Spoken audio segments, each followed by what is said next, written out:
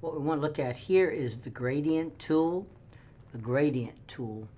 And uh, the first couple of things that we need is first the color palette, which I already have on my screen here. I would like you to bring up the swatches palette.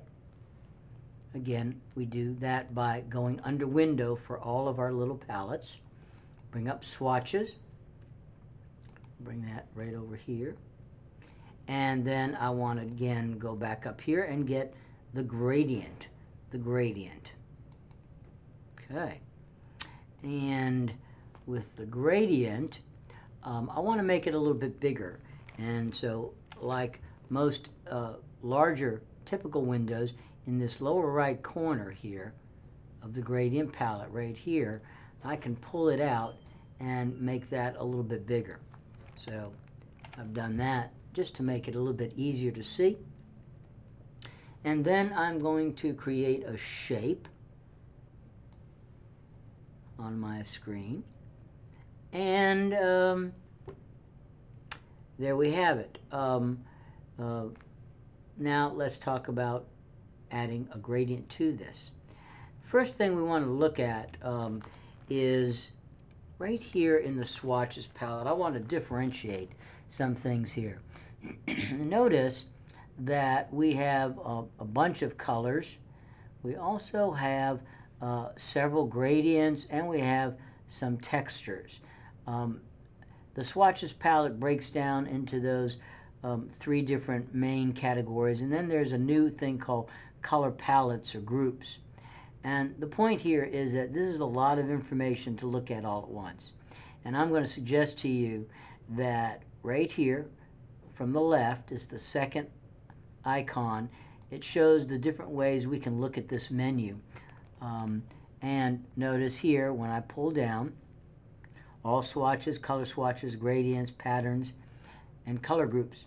And what we want is to simplify it and show just the gradients.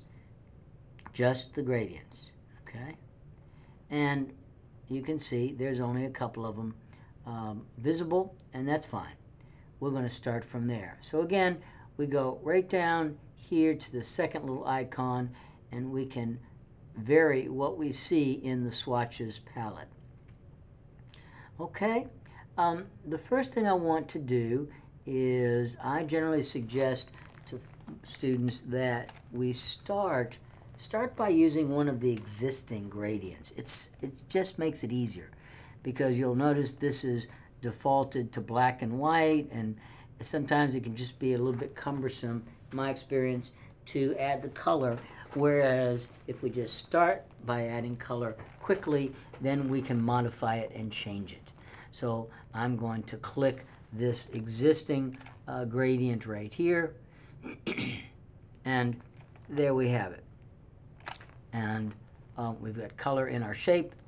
Um, if you didn't get color in your shape, then you didn't have it activated. So click on it with one of the um, um arrow tools, selection tools, and then click the little swatch here.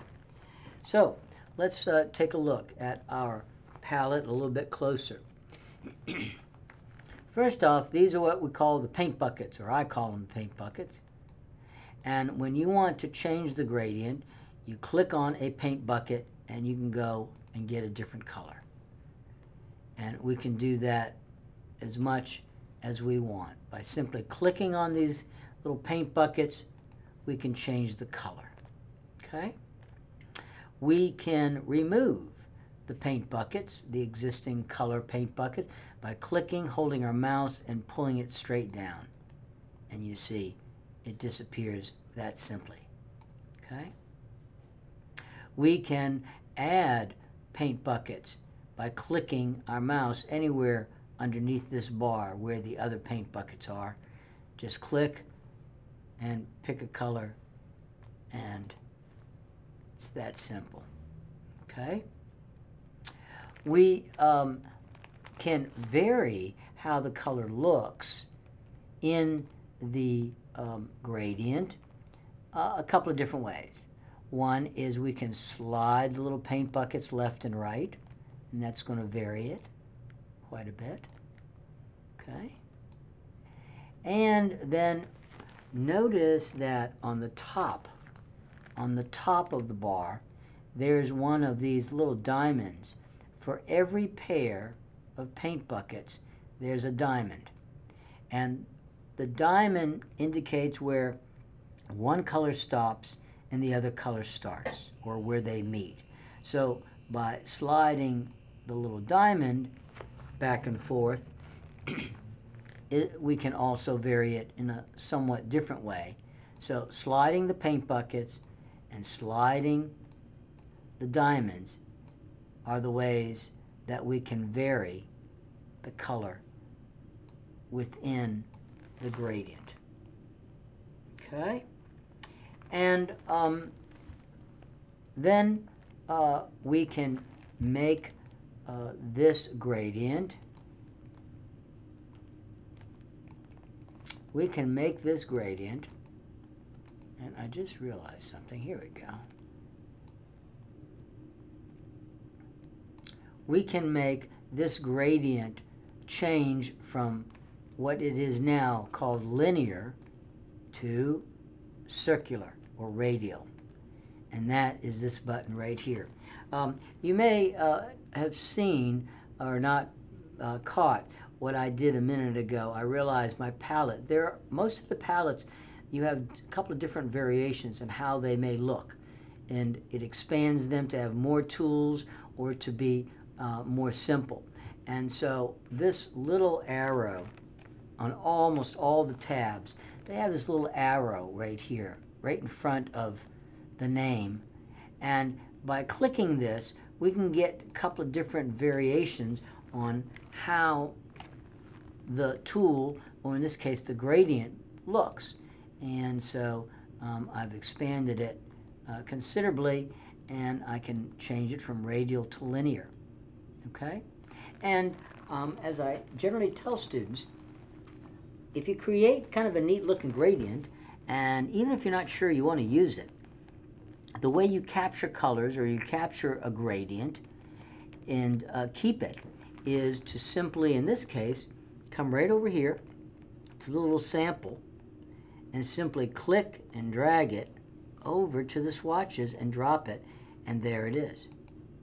And it will stay in your file uh, permanently. Okay? So, um, that's how we can make them, and then uh, that is how we can capture them. Then, um, the really the on, only other piece of this little puzzle is how do we apply the gradient? Now, um, when I click and hold my mouse, you'll see, oops, I'm sorry. Uh, let me go to the gradient. Uh, by the way, the gradient tool is right down here, right down there above the little dropper. So I can grab that or select that. And when I am holding my mouse down, notice we have this black line. This black line from one end to the other represents the entire gradient. In this case, from yellow on the left to the blue on the right.